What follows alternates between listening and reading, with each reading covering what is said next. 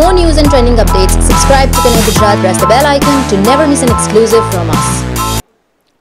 પાણીની જાવક ઘટતા સરદાર સરોવર નર્મદા ડેમની જળ સપાટી ચોવીસ કલાકમાં વીસ સેન્ટીમીટર વધી છે. ડેમની સપાટીમાં સતત વધારો થઈ રહ્યો છે. આજે પાણીની આવક સત્તર હજાર નવસો સત્યાવીસ ક્યુસેક થઈ છે.